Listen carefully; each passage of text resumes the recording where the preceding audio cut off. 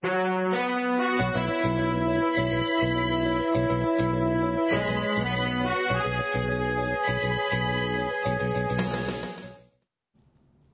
众朋友好，今天是美东时间三月二十二号星期二，欢迎收看从华盛顿总部播报的亚太联播，我是郭亚萨。今天的主要内容有：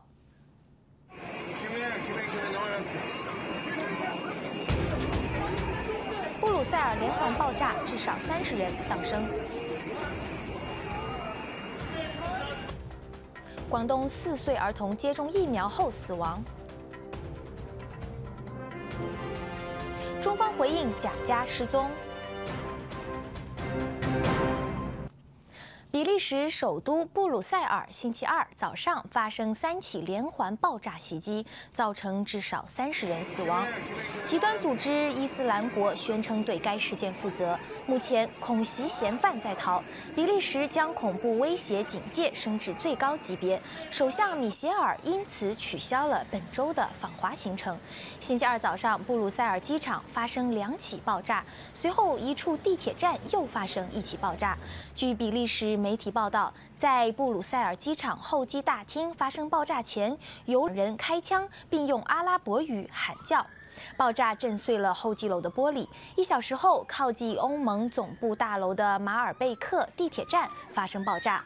比利时国王和王后发表声明，抨击针对比利时人的恐怖袭击。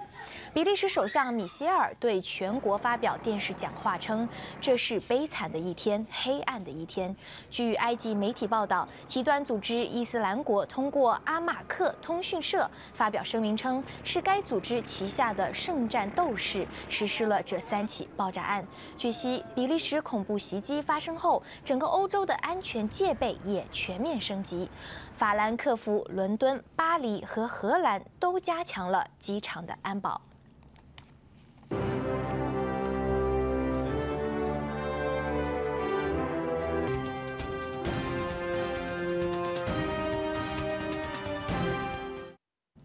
广东河源市发通报称，本月初发生一宗男童注射疫苗致死案件，但官方在未给出具体原因的情况下，急忙就事件做回应，强调与山东假疫苗无关。请看心灵的报道。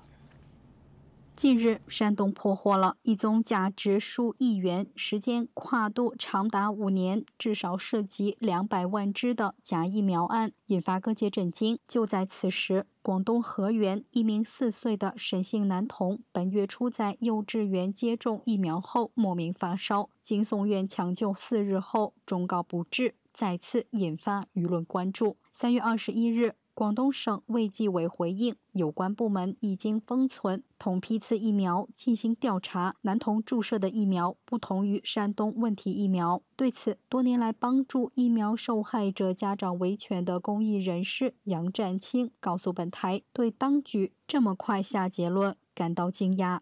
一般来说，它是不是属于疫苗的异常反应啊，或者说是质量问题？一般质量问题要。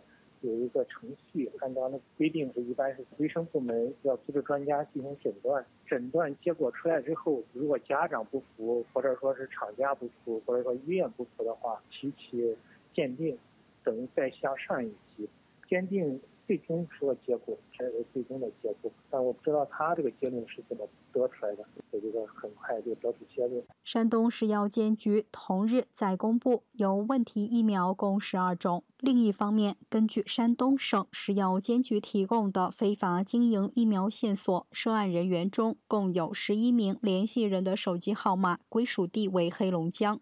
三月二十二日，因舆论过热，黑龙江政府终于跟进，宣布就问题疫苗成立专案组。关注事件的安徽异议人士李文革接受本台采访时称：“大家都在求利，做事情有底线，想尽一切办法去赚取那个金钱。假疫苗不是一般的商人那么简单吧？五年之久，太可怕。”在中国大陆可以做大，官方勾结太普遍了。现在发现的就是很小很小的一部分。自由亚洲电台特约记者辛林采访报道。德国总统高克三月二十号首次到访中国，在第二天会晤中国国家主席习近平后，也会见了北京独立媒体人高瑜案的两位辩护律师莫少平和尚宝军，以及被羁押中的李和平律师的妻子王俏玲和诗人王藏等七人。据莫少平透露，在会晤中，他与高克就中国的法治与人权状况交换了看法。诗人王藏表示，他们被以人权捍卫者身份获得邀请。而高克总统非常关切中国的言论自由、出版自由等人权问题，请看乔龙的报道。正在中国进行国事访问的德国总统高克，三月二十一日晚上在德国驻中国大使馆会见了北京独立媒体人高瑜的辩护人莫少平和尚宝军两位律师。北京的莫少平律师事务所主任律师莫少平二十二日向自由亚洲电台介绍了会面时的情景。他说：“谈的相对。”比较广泛一点吧，呃，实际上也是围绕法治、人权这方面，哎，他也了解一下作为律师你们现在工作的情况，对中国法治和人权的你的看法，啊，当然他也说了一下他自己，他原原来他是在东德做过牧师，所以呢，他呢就是说以前东德和这个现在中国的情况是比较类似吧。啊，就大家实际上是没有什么特别具体的，实际上是一个比较宏观的，围绕法治、围绕人权的问题谈谈这些。他确实很关注中国的法治，当然也关注中国的一个经济状况。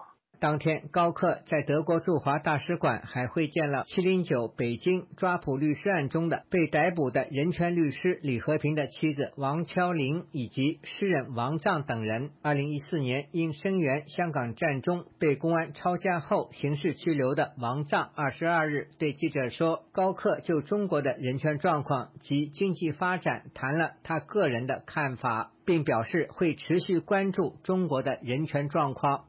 我说我的观点是，不能因为经济的发展这个表象，认为中国就有什么进步。这些所谓的发展都是以牺牲中国人的基本人权为代价的。然后也简要的介绍了一下这个我自己所受的一些遭遇，呼吁这个总统先生关注人权受难者。总统先生表示他会通过他自己的方式，他会持续的与中国政府对话，也会通过多种方式来共同的促进这个中国人权的改善。本身也是独立中文笔会会员的王藏表示，当晚受邀的七个人都是以人权捍卫者身份与高克见面，包括律师和学者。一共去了，就是我们一起的是七个，有几位律师呃，有几位人权捍卫者，还有李和平的妻子。七零九，你也跟他介绍过了。哎，他聊到了，聊到了这个这个中国的这个这个审判这个。等问题，我们也聊到这个话题，就是政治一直超越法律。王藏告诉记者，二十二日中午，他以诗人、艺术家的身份，以宋庄另外两位艺术家参加了高克总统举行的招待会，包括北京工商界等有数百人出席。期间，他们与德国人权官员会晤了半个小时，是以这个诗人、艺术家的身份啊再次会谈。还有几位重磅的艺术家，主要谈关于这个艺术自由等等这方面的问题，创作艺术家、受打压等等这些。以上是自由亚洲电台特约记者乔龙的采访报道。香港媒体人贾家在中国失踪多日，引起各界的广泛关注。美国务院官员呼吁中国当局明确贾家下落。中国外交部发言人华春莹在外交部记者例会上指，外界务需聚焦个案之上。中国官媒也炮轰外界以贾家失联为噱头，挑起争议。但包括律师及人权团体在内关注者，则继续要求中国当局公开贾家的。下落和司法状态，请看心灵的报道。持中国护照及香港居民身份证的著名传媒人贾家，一涉大陆无界新闻刊出要求习近平辞职的公开信事件，经律师证实，上星期在北京被公安带走，连日来成为外界关注焦点。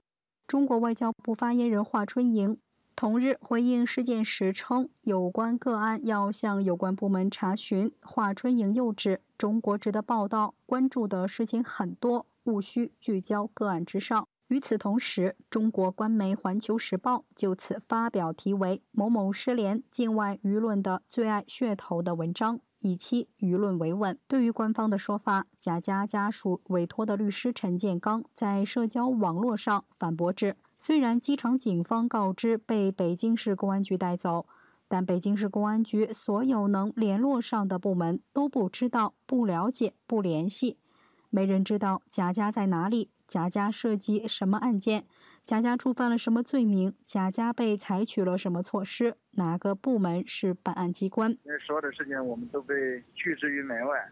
虽然我们得到警方确切的消息。是被北京市公安局的一个人带走了，但是北京市公安局现在没有任何人对这个事情进行答复。呃，我们所能见到的都是不知道、不负责，也不帮我们联系真正的办案人。就我们现在面对的整个就是一个蛮不讲理的这样一个机构。贾家的家属那边也没有收到任何通知，一个周都多了。此外，法国广播公司引述消息指。至少还有四人因此事被失踪，包括无界新闻网执行总裁欧阳洪亮、执行主编黄志杰以及两名负责电脑安全技术的员工。也有消息指，目前已有数十人因为事件而被扣押。参与声援贾家游行的社民联主席吴文远痛批：自习近平上台后，公民权利空间严重收窄。过去被中共形容在鸟笼空间形式的民间运动和快闪运动等，现在都受到压制。对此，关注事件的中国人权观察副理事长潘璐告诉本台：“贾家事件反映了当局对民智开启的极度恐惧，但当局加紧压制公民权利空间的做法不能得逞。中共当局不必要这么恐，他如果温和一点，和民众。”沟通也许会有新的局面。没有任何一个人他可以永远垄断，真的，谁都无法阻止中国当下的民智的开启和民主化思想的传播。贾家失踪事件已引起多个国际人权组织的关注。总部设在伦敦的国际特赦组织呼吁国际关注此事，敦促当局公开贾家的下落和司法状态。国际记者保护联会也要求知情者公布真相。自由亚洲电台特约记者辛林采访报道。湖北潜江总口地区上千民众因不满当地政府在没有任何提前通知的情况下施工建造垃圾焚烧厂，于三月二十一号集体上街抗议。总孔农场管理区称，垃圾焚烧厂属民生建设，暂时不会停建。有专家认为，垃圾焚烧厂的主要排放物质二恶英最大危害是具有不可逆的三致毒性，即致畸。致癌、致突变。四川成都天府新区正兴镇四个村庄的千余村民，因不满地方政府未能兑现此前承诺的拆迁安置补偿协议，于三月二十一号集会抗议，希望政府能予以解释，并进行适当的赔偿。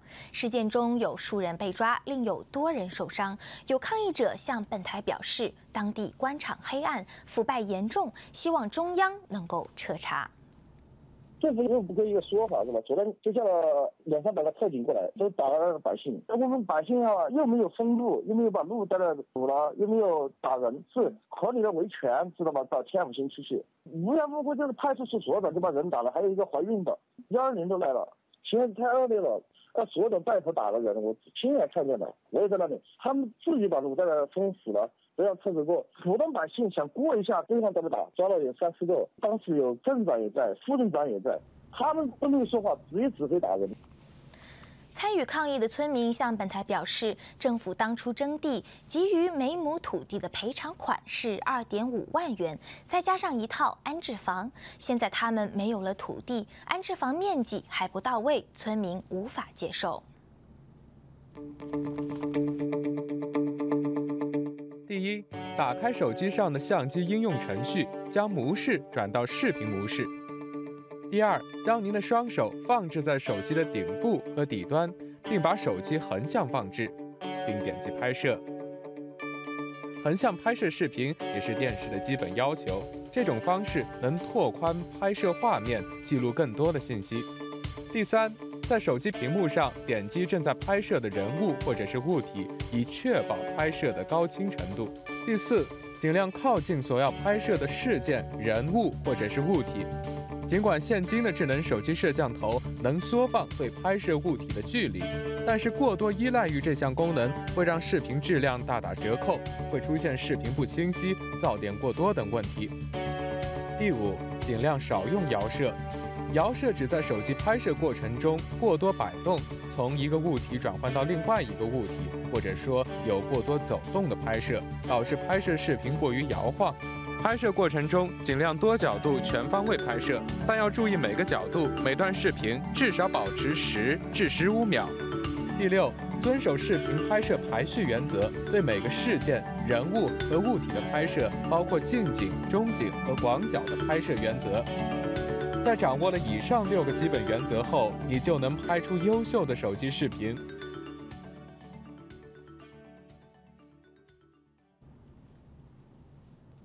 有关当局进一步迫害网名为“屠夫”的福建维权人士吴干，他的父亲徐孝顺被控职务侵占罪一案，三月二十二号上午在福清市法院第三次开庭审理。该案代理律师林洪南在休庭后告诉记者，控方提出新的证据均站不住脚，律师为当事人做无罪辩护，十多人到法院外声援徐孝顺。中国五大中央党政军部门近日联合发出红头文件，要求各地组织观看由中国国家主席习近平夫人彭丽媛担任艺术指导的新版 3D 歌剧电影《白毛女》。这一做法引发外界关注。有分析指，自习近平上来以来，持续三年的亚文革有继续扩大之势。请看心灵的报道。近日，网上流传出一份中宣部、文化部、教育部、国家新闻广电总局、中央军委政治工作部的办公厅联名发出的红头文件，要求各省、自治区、直辖市的宣传部、文化厅、教育厅、新闻出版广电局。解放军各大单位、中央军委各部门以及省级电影发行公司和各电影院线公司，在全国范围内组织观看 3D 舞台艺术电影《白毛女》。据报道，这部被中国评论家赞为新时代的艺术经典的歌剧，由最高领导人习近平的夫人、解放军艺术学院院长彭丽媛担任艺术指导。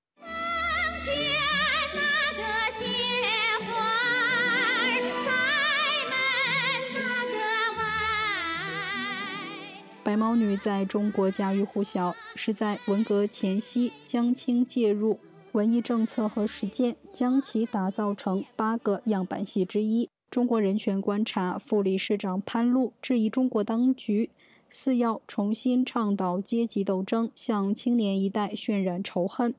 剧中的那个时候充满人质的思想认识，谁都可以代表人民批判谁、打倒谁，甚至枪毙谁。官方虽无打出文革旗号的政治运动，却有类似文革的整肃手段和举措。亚文革化持续扩大，封锁言论、垄断真理、控制意识形态、封锁新闻，中小学生进行大规模、长期的洗脑教育，试图通过统一言论来控制整个社会。这种方式其实已经早就过时了。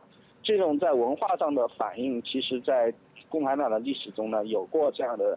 先例，呃，凡是一旦对文化界、思想界进行重大的这种迫害的话，都会引起的社会的重大的危机。旅美作家于杰撰文指，白毛女的妖魔化地主阶级是为中共消灭地主和富农的阶级屠杀寻求合理性和合法性。对此，河北自由撰稿人朱欣欣接受本台采访时称，现在中国的既得利益集团要比黄世仁更黑更狠。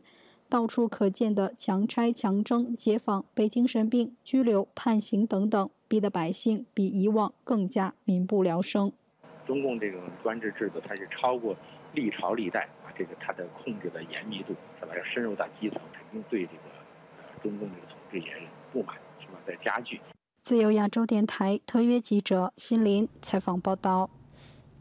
香港剧团糊涂戏班近日发布新作《第三谎言》时，遭到香港特区政府康文署的政治审查。一位幕后工作人员、艺术行政主任兼执行监制罗淑燕，毕业于台湾国立台北艺术大学，而被当局要求在场刊演员简介中删除校名中的“国立”字眼，就叫台北艺术大学，或者只简称北艺大。剧团多次抗议都无法推翻此决定，最终唯有在场刊登出的个人照片中手持国立台北艺术大学的学位证书以示抗议。舆论直指香港政府是集权政府，连一个学校的名字都容不下，而事件是一场荒谬又可怕的政治审查。二零一六年第十五届藏人行政中央内阁司政和第十六届西藏人民议会议员选举活动于三月二十号在十三十个国家顺利展开并圆满落幕。藏人行政中央选举委员会预计将于下月底公布最终获选的司政和议员名单。流亡藏人选举国际观察团星期一在达兰萨拉召开记者会，对西藏流亡社区民主化。成就及藏人热情参与竞选投票，表达赞赏。请看丹真的报道。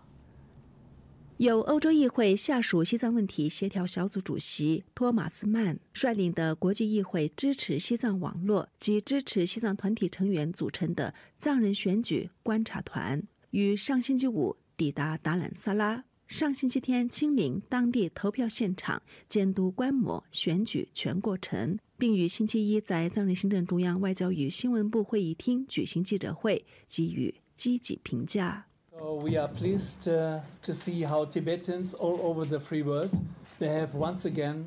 托马斯曼在宣读观察团的声明时表示：“我们很高兴看到在世界自由国家的藏人为实现全体西藏人民更美好未来的愿望，再次强烈拥抱民主。”而这对西藏境内的藏人却是被禁止享受的。我们要称赞流亡藏人在竞选和投票过程中的热情参与。托马斯曼表示，藏人选举观察团的报告将于下月二十七号在宣告最终结果后正式发布。第十五届西藏人民议会第十一次会议，也是该届最后一次会议，于星期一在印度达兰萨拉议会大厅举行。西藏人民议会议长边巴次仁、副议长苏南丹培为首的议员，藏人行政中央司政洛桑森格为首的各部门部长出席会议，参与讨论。第十五届西藏人民议会最后一次会议将于四月一号闭幕。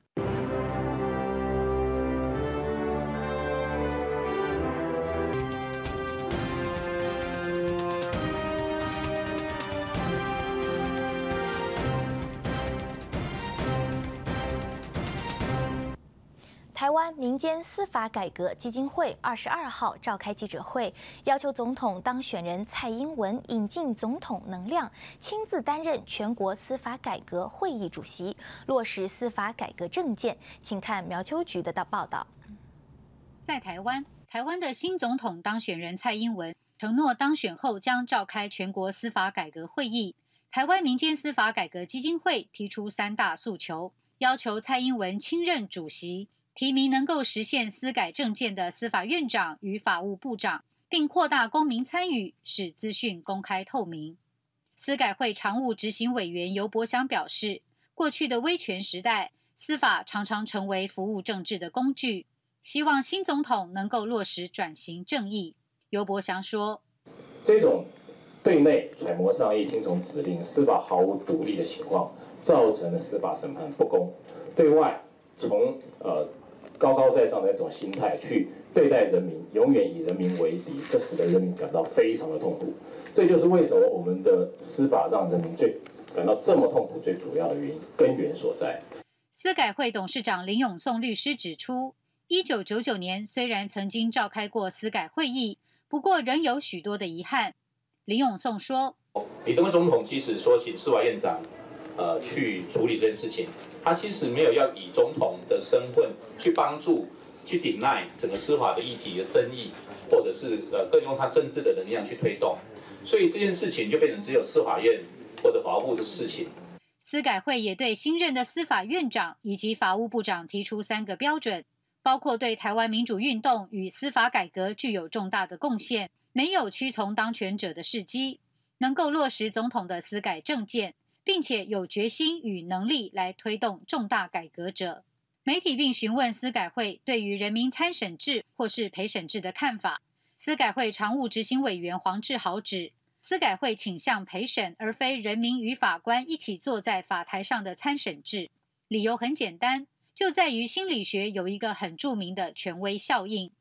黄志豪说：“例如说，我是一个素人，旁边坐的是一个资深十五年的法官的时候，当他在一个案件的事实跟法律判断的时候，如果他把他的意见告诉我了，我有多大的几率用我仅有的学识跟欠缺的司法实务经验去反驳他，去跟他争执？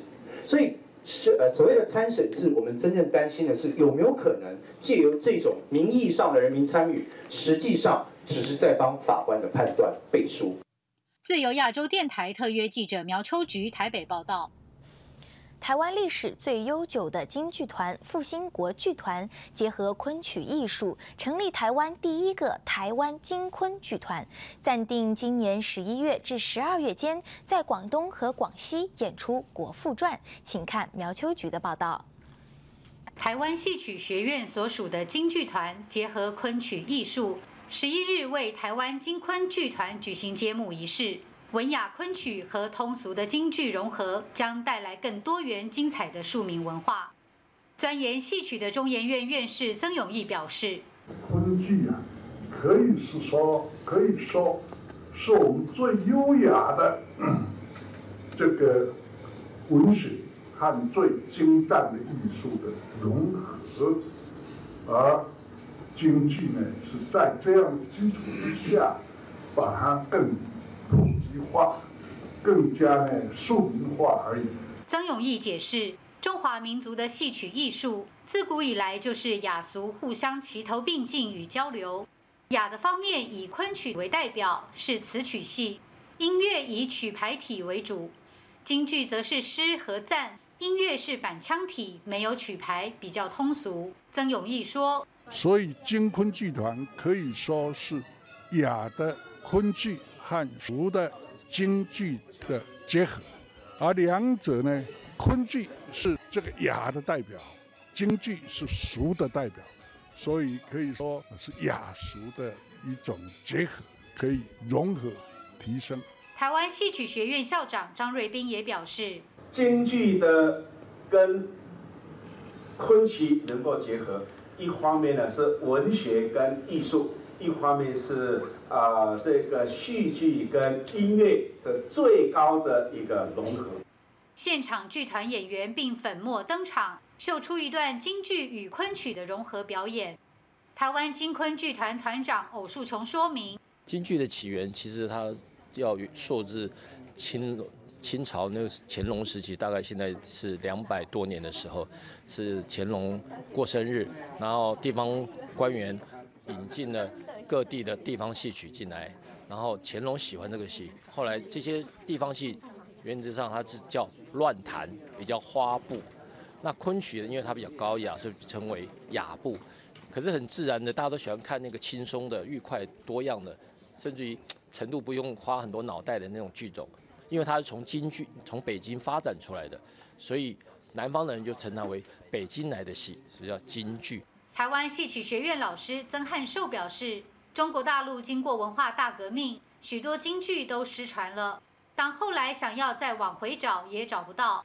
反观台湾的老师，反而在学校保留了很多京剧剧目。曾汉寿说：“说句不大客气的，正统的京剧还真是在台湾。”自由亚洲电台特约记者苗秋菊台北报道。